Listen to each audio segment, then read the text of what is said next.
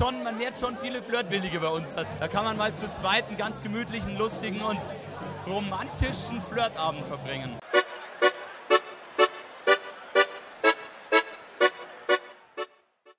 Hallo, liebe Wiesen-Gaudi-Zuschauer. Bei mir ist der Christian Scherke, der beste, beste Wiesenkonzierge, den ich kenne.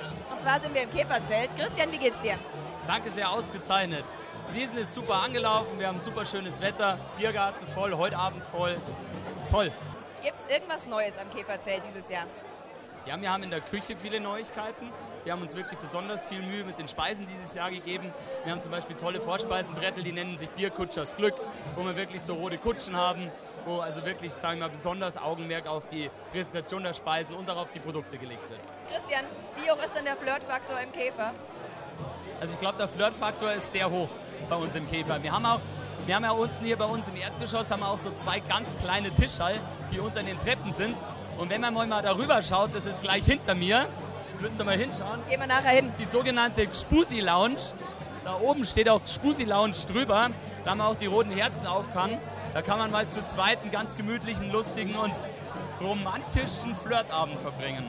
Eigentlich müsstet ihr das als Service fast schon anbieten. Wenn da jetzt so ein schilker Singelmann kommt und sagt, oh, irgendwie bin du alleine, dann könntet ihr den ja eigentlich da hinsetzen und dann ein passendes Weiblein suchen, oder nicht? Ja, so weit geht unser Service dann nicht, aber wir schauen auch schon einmal, dass, sagen wir, wenn wir wissen, dass ein Männertisch da ist und ein Frauentisch da ist oder ein Junggesellenabschied, dass man die Tische nebeneinander legt.